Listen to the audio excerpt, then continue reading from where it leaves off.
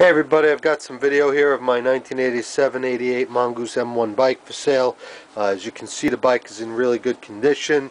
It's mostly original. It's got the original frame, forks, uh, handlebars, uh, neck on it, um, the original uh, uh, wheels on it. Uh, the tires are aftermarket, the pedals are aftermarket. it's got a trick top seat from the 80s which is aftermarket as well, but a real nice vintage seat, you know. Um, just kind of show you the back of that there. A little bit of scuffs on the back. But all in all, this bike's in really good shape. Uh, you know, it's up for sale now, so if you're interested, bid on it.